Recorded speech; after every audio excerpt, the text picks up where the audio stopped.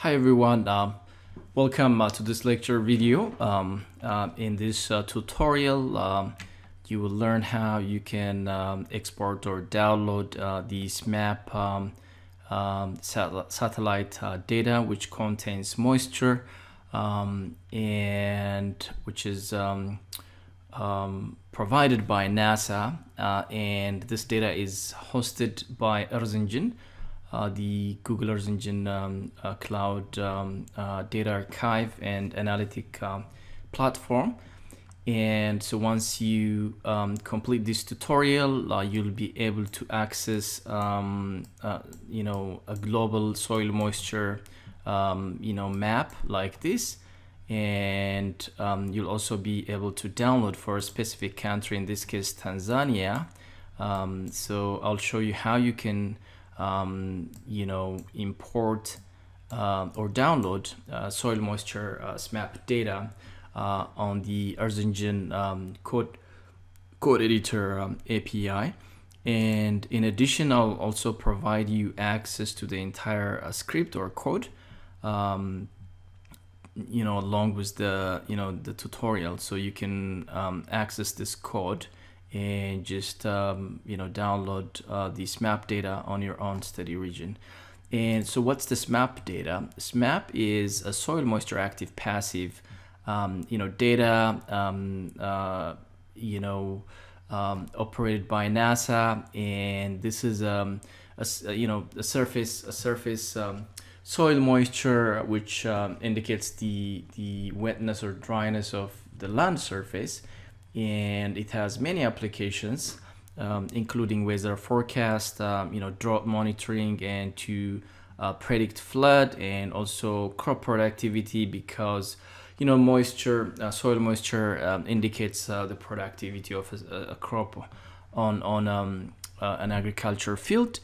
And so this product um, is very very useful in many many other um, real world application uh, as you have seen here. And if you're interested on, this is a NASA uh, JPL website. If you're interested about the product information, uh, here you can click data product and you can get more information to, you know, different, um, you know, SMAP bands and, and, and whatnot and the details of um, each of these bands and, and what the limitations of that and the spatial and temporal resolution of that and whatnot and we'll be using the EarthEngine um, Cloud uh, API to access SMAP dataset and also run our code on, on the API. So if you click uh, this uh, EarthEngine site and if you search, for example, SMAP, it will provide you to SMAP, um, you know, global data. And this is the um, EarthEngine uh, image collection that hosts SMAP um, um, product on, on the Earth engine. So we'll be, um, you know, downloading, uh, you know, SMAP data um, using our code. Okay, so let's get started. So the first thing is, um, you know, our, um, all right, the title for our um, analysis, exporting SMAP data, all right? And the first thing is I'll just uh, create a region of interest um, for our study area um, since it's a global data. Um, so I'll declare a variable countries and I'll import it as a, feature a feature collection and I'll access the um, EarthEngine um, built-in um, feature collection uh, for for a global um, you know countries data um, and that's LSIB uh, simple. Uh, I'll just mark it actually. Cap capita and 2017 so this is a global data um, for countries boundary right? And after that um, I, I need to declare equal here okay? And next thing is I'll just uh, create my ROI variable variable ROI is equal to and I'll call this countries. What I'm doing is here is um, subsetting um, uh, from the world uh, administrative boundaries data I'll subset to a certain study region in this case um, uh, Tanzania. So I'll filter uh, this feature data.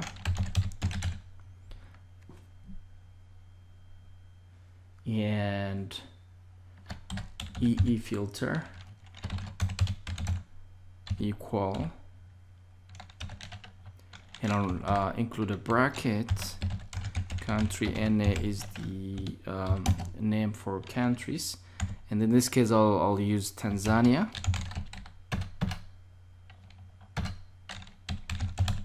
Okay. And I'll close the, um, the statement with a semicolon. And let me just uh, map this to make sure that we have the right polygon or region of interest right? Um, we don't need to specify some coloring or uh, things like that just a basic mapping. Of Tanzania and I'll declare false um, and since I'm not interested to map it to make it to make this um, uh, layer active on the dashboard. I'll just add it if I want to. Let's execute that. And okay so we have some error here.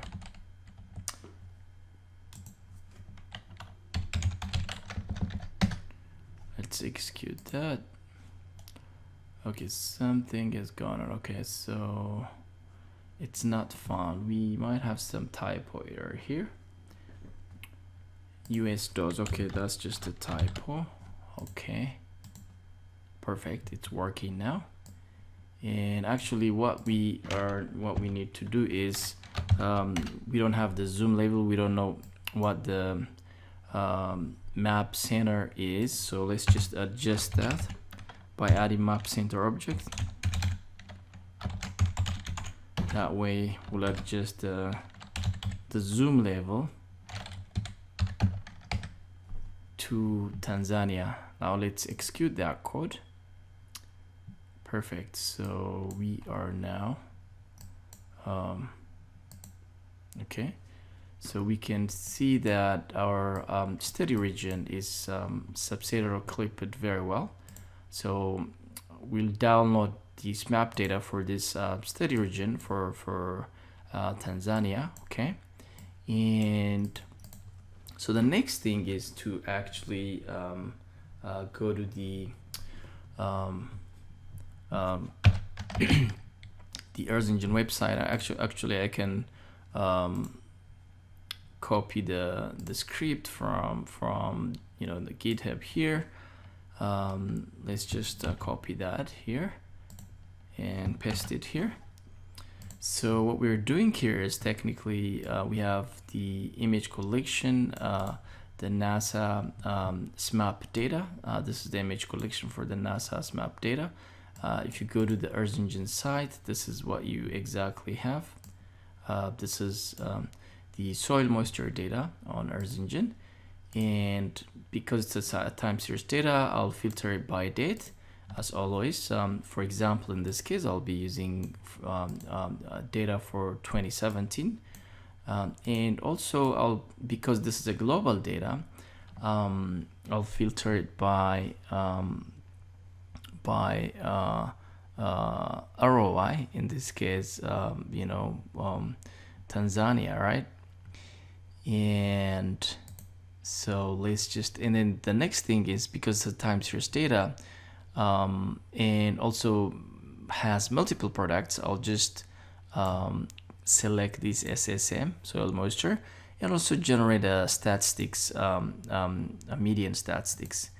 And next I'll create some sort of um, um, visualization parameter here and um, the minimum and maximum value in some coloring.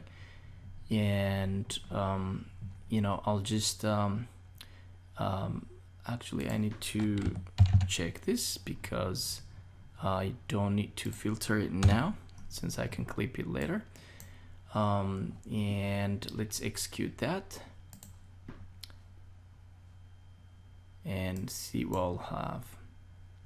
So what we have is that um, a global soil moisture data, as you can see here, Um, so this is a global soil moisture data. So if you look at red, it's high moisture, uh, yellow is medium, and then um, blue is dry. As you can see here, the Saharan desert, it's pretty, you know, uh, dry area and some, uh, some part of Eastern Africa. And you can see the moisture variation across the globe.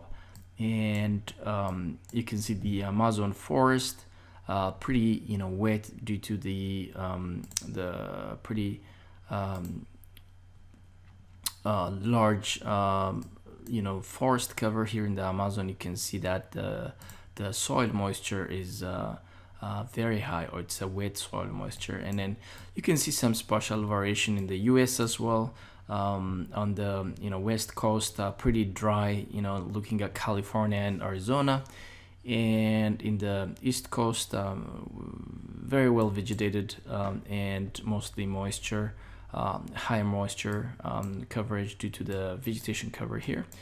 Um, and so this is how you can visualize um, these map data at a global scale. So now what we are interested in is to um, subset this for a study region and export it, right? So instead of looking at the global, you know, data, we'll just uh, filter it by, you know, uh, a certain study area and clip that to um, a region of interest here.